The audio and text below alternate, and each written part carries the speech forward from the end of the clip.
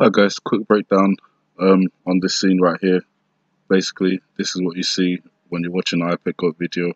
After some enhancements, you do start to see a few other things, such as the black submarine in the water, along with the uh, possibly boat, ship, maybe something else, um, even something smaller, uh, possibly a nuclear drone if that's a Russian spy ship, possibly, just a hypothesis.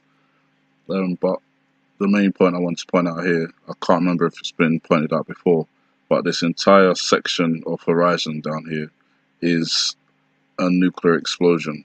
So if you can see the difference between this this semicircular band of light against this semicircular band of light, it basically says to me that Maybe because of the depiction of the oil rigs, nuclear devices have been placed underground, maybe as far down as oil. Excuse me. And um, that has detonated. And when it's detonated, it's lifted up the Earth's crust, not all the Earth, but this section of Earth crust, which you can see in this particular slab here. Now you'll notice the lines the rectangular lines, the kind of sheen they're giving it. So that's not ocean or that's not clouds. That's that's supposed to be Earth. So the Earth's been lifted up by this nuclear explosion from here all the way back to here. And on top of that, we've got the wave which comes, and out of the wave appears this submarine, and we've got this ship and something else also on the water. In the background, I'm sure there's other things depicted because I can see these dark silhouettes and stuff like looking like maybe military vehicles or something, but because I can't make it out completely, um, I can't say that with any confidence. But the other thing I wanted to point out, and I'm going to need to zoom in for this one, is in the section of Earth. You can also tell it's Earth because it's got like magma in it. So, in the section of Earth that has been lifted up by this detonation, I can see there's a man here, or what we'd call a man if he didn't have a horn sticking out of his head. So it appears he's kind of sideways. If you turn your head sideways, you can probably see it a bit better. The easiest way to see it is this whole part here is his forehead and that leads down to his nose and he's got his eyes on either side. Um, but they don't appear to be open. So whoever this figure is that has this black hair and this long nose and a horn coming out of his head appears to be emerging from underneath the earth or possibly underneath the sea because as we can see here, if this represents the Earth, that's been split, it kind of ends here, and that's where this man's face begins, and we've got sea above that.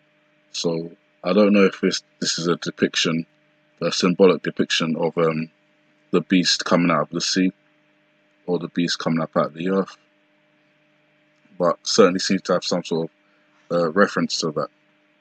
And the other thing I want to show you very quickly,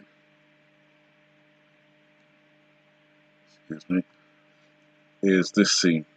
Now, when we go back, excuse me, this is how the scene looks normally when you watch the I Pet Goat video. And maybe other people have noticed, but I haven't seen any videos on it. But when I enhanced it, what stood out to me is this extra figure that is attached to the Statue of Liberty. So it looks individual, like the Statue of Liberty is just one, but then when you enhance it even more, you can see that this figure actually has what looks like a hood on and in this depiction longish purple hair. You can see this is the sleeve of their dress, and their hand rests on the Statue of Liberty's shoulder.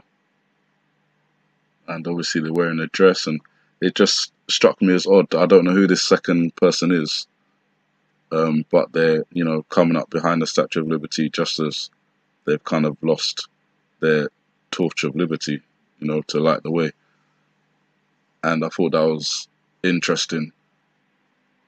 It's also interesting when you define it even more how all those normal, seemingly just grey swirls around the Statue of Liberty and this other woman.